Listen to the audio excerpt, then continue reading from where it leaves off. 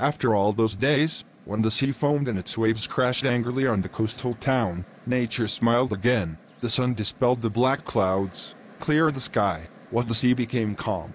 Rona, a wild duck, and Pick the penguin couldn't wait for this much desired cast. They went out to the sea just after morning, but the hunt was not going well. Well, my roan, is something visible? We are trying in vain, Pick, we have nothing to do, the little ones are waiting for us with their mouths open, if you see something over there, make a noise. You too.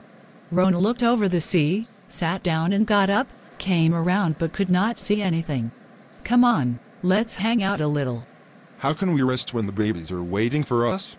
It's easy for you to work and relax at the same time, but here in heaven you can't rest for a moment.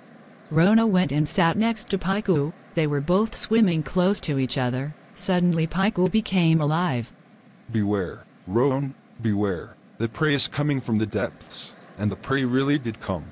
Both are caught by a big fisapi. They went to the shore, put the game between their legs and took a calm breath. The little penguins who had noticed them from afar came there with cries of joy. Rona chased them and threatened them with her beak.